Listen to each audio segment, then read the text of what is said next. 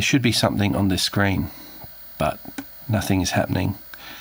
I've got the DVD, it's playing okay. I can see the counter moving. All the controls look like they're set correctly. In fact, when I turn up the volume, Network 23 to Edison Carter. Okay. We have the link strong and clear. Your show goes live in two minutes. So we do have audio coming through. And I've noticed when I press the horizontal vertical delay button, yep, we do get a brief flash on the screen. So the tube is working. So I don't think there's anything seriously wrong with this, but there is something that needs to be fixed. So I'll turn this monitor around. And on the side, you can see just how incredibly long this is, despite having a screen area about the same size as a modern phone. A flat panel, this is not. Back of the unit, the audio is just going into the audio input, and the video is feeding into the composite connection. This monitor, however, has other inputs, including RGB and component, which use these extra connections. And that's why I dug up this old DVD player because on the back it has some extra outputs.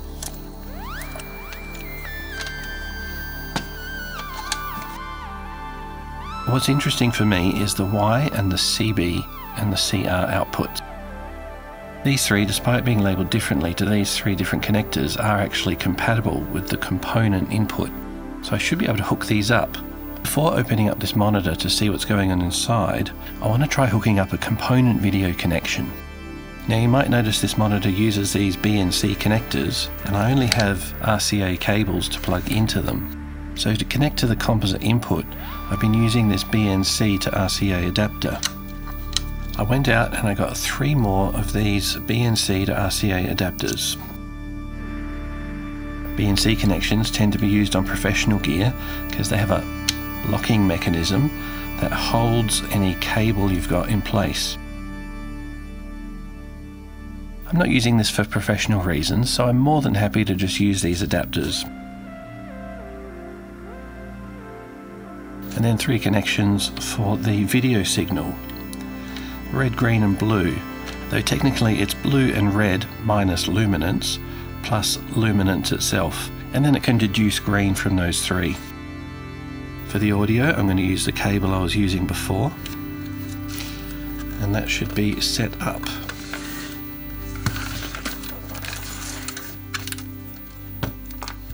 On the DVD player, I just need the audio and the three video signals connected to their respective colours green, blue, and red.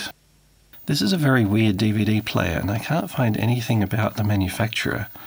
It also has a microphone input, indicating this could be related to karaoke equipment. It's also got a USB input, which I presume relates to its ability to play MPEG 4 files.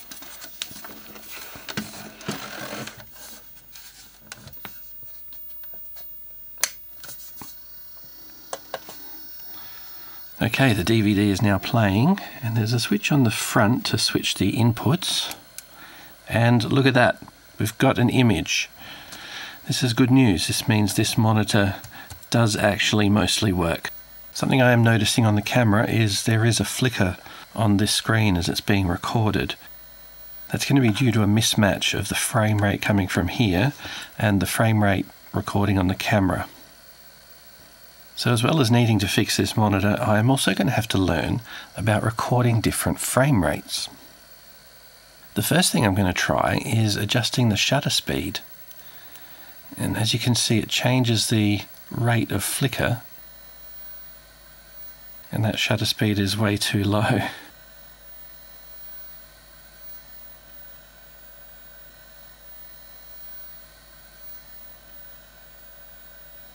Okay, I've played around with the camera settings and I managed to get a stable picture.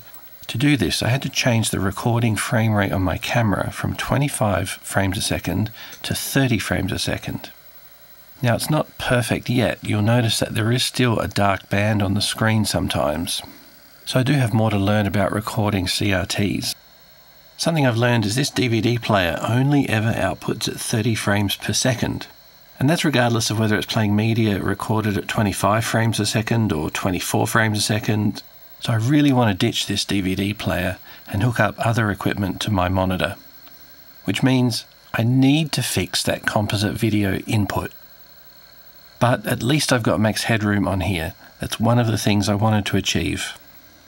Max is a very 80s analog kind of guy, which, by the way, he's going to get rebooted soon. And to be honest, he's kind of crazy.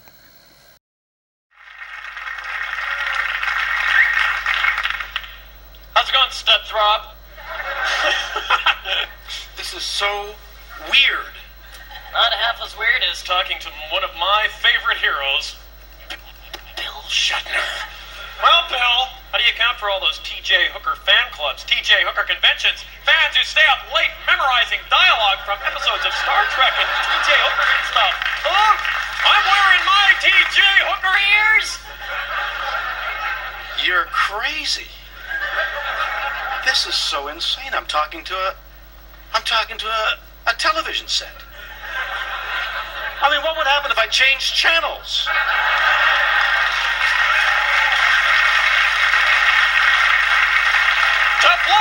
Syndicated! Time to ditch this DVD player. I am, of course, unplugging everything, especially power, before taking this monitor apart. It's important to note that after unplugging a CRT, it can still be dangerous when disassembled. I love these double arrows Sony uses on their products. They tell you which screws to remove for disassembly. This is becoming a tribute symbol for repair.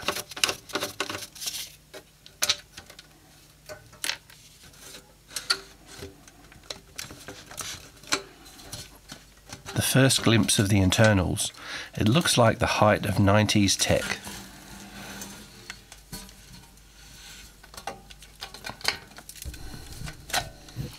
Looking down inside, we can see the tube takes up half the length and the power supply is in the other half. We can also see this very thick red wire that carries the extremely high voltage to the tube. But these tubes can continue to hold very high voltages even when they've been left unplugged for a long time. This is my first time fixing something with a cathode ray tube inside, so safety is the main thing I'm focused on.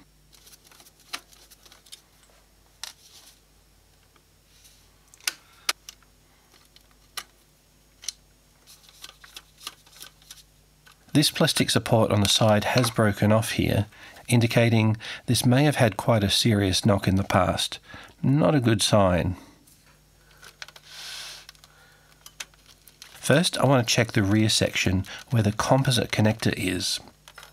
I feel quite comfortable working in this area because it's far from the tube at the front. I'm really enjoying the internal design. It's all very modular and designed for repair. A real pleasure to work on.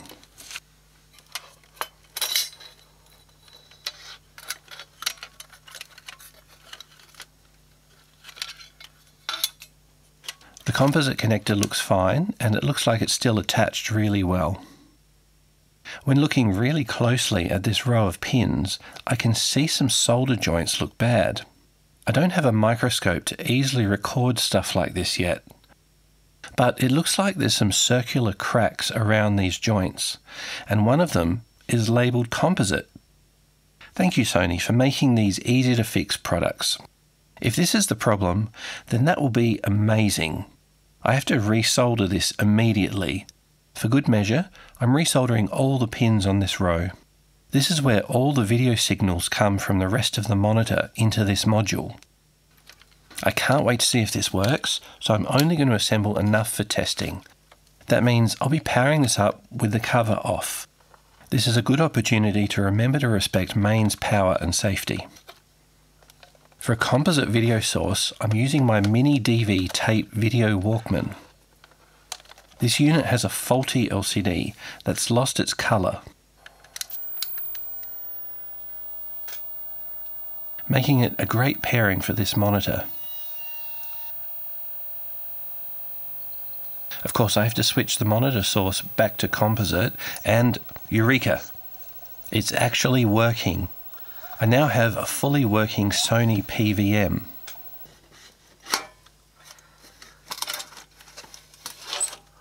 This means I'll be able to connect up game consoles in the future and see retro games the way they were meant to be. For the moment, though, I'm really pleased the first thing I'm seeing on my PVM is Max Headroom. He belongs on a cathode ray tube. Damn good. Let me play you my favorite album and take you on a journey. A journey through woodlands and hills. And let's listen to. Yes, some bird song.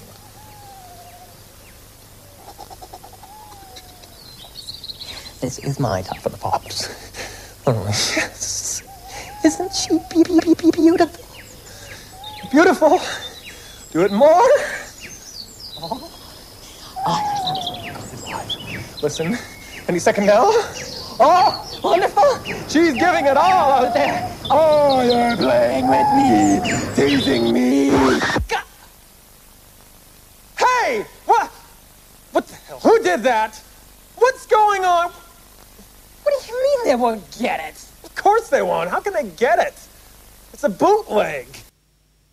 With the new reboot in the works, I think it's important to remember where Max Headroom came from and how much he influenced culture in the 1980s and even inspired the world's greatest broadcast signal intrusion hack. I'm curious to know how they will treat this insanely disruptive and subversive personality in the modern age. Good luck, Max. Making this video has also taught me more about recording screens, including learning more about exposure levels, dealing with moire patterns, and now frame rates and interlaced fields, though I still have some more work to do on getting good colour balance between shots. Have a look at the following sequence and let me know. How do you think I did?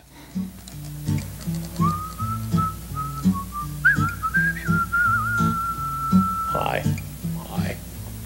How long have we known each other? Oh, we go way back. You know, we've never sung a song together. You know, that's true.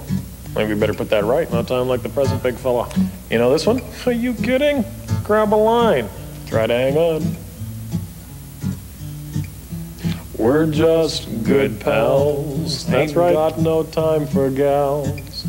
You're the one I rely on, like right guard under nylon. We laugh, we have fun. We sure do. We're like the double barrel of a gun. We go together like days and nights, like legs in the same pair of tights. You enjoying this? Since I don't know when. Carry on? Oh, try and stop me. We're just good pals. That's no time for Susie or Sal. We're a couple of machos, far too butch to watch chat shows. Well, football, that's okay. We share a beer, that's our way. Did you know you're my oldest mate? Ah, you old reprobate. Say that again. I've seen your style, it sticks out a mile. We sit on a couple of stools, pal, but we ain't a couple of tools, pal. I love you in blues, like I bought you for that cruise. Remember that night on B deck when you wore my lemon V-neck, but we're butch, we're straight. We go to bed about eight and sleep in separate rooms. That's right, and we don't see each other all night. I like your style. It sticks out a mile. A mile. We sit on a couple of stools, pal, but we ain't a couple of tools, pal. One more? You lead. Tag along. I'm with you. We share a flat, you said. I steal the duvet off your bed. I'll do anything he asks, but I won't wear studded leather or masks. I could talk to you for an hour. Me too. I love to hear you sing in the shower. I might give you a couple of friendly slaps, but we're just normal chaps. Well, we are. Don't slink around in silk wraps. Oh. Don't share our shower caps. Don't pose for no weirdo snaps. Well, that's right. or sit on each other's laps. No, sir. Yes, we're just good pals. That's right.